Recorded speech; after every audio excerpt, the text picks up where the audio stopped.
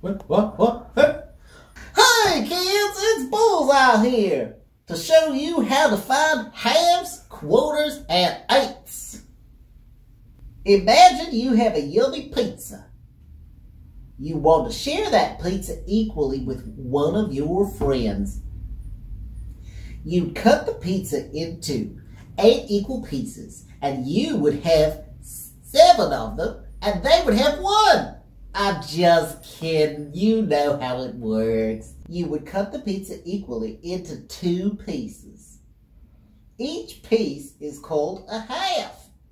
You get one half, and your friend gets the other half. That's a good friend. Both of you get the same amount of pizza. It's like sharing. Super fair. Now, two more friends come over. You've got a problem because you don't have enough pizza. So, both you and your original friend need to share what you have now.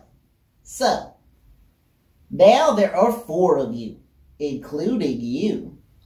You need to cut the pizza into four equal pieces. So everyone gets a piece. Each of those pieces is called a quarter, a half of a half. Oh no! Four more friends showed up, and they didn't bring their own pizza. Now there are eight of you, and you're all very hungry.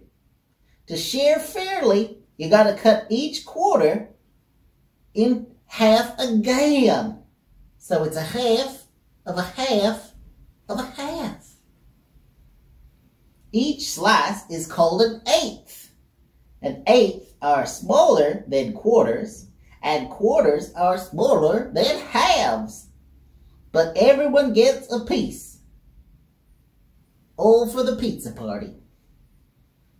Remember, a half is two equal pieces. A quarter is four equal pieces. And an eighth is eight equal pieces. The more people you share with, the more slices you need, and the smaller each slice gets. Sharing pizza is a delicious way to learn about fractions. Now imagine instead of a pizza, you have a group of eight apples to share. If you split the apples into two equal groups, each group would have four apples. Each group is called a half of the apples together. The two halves make the whole group of eight apples.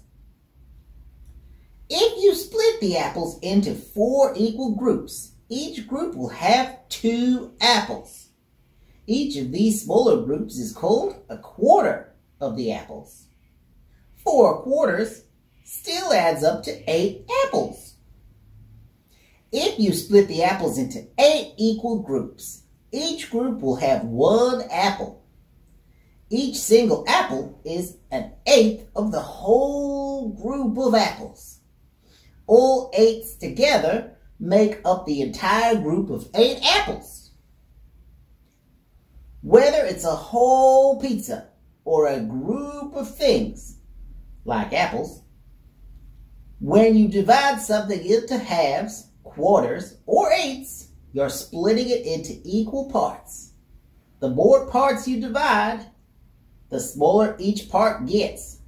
But all the parts together always make up the whole. And remember, children, like, share, and subscribe. And if you're inviting that many people to your pizza party, you probably want to order more than one pizza. Till next time!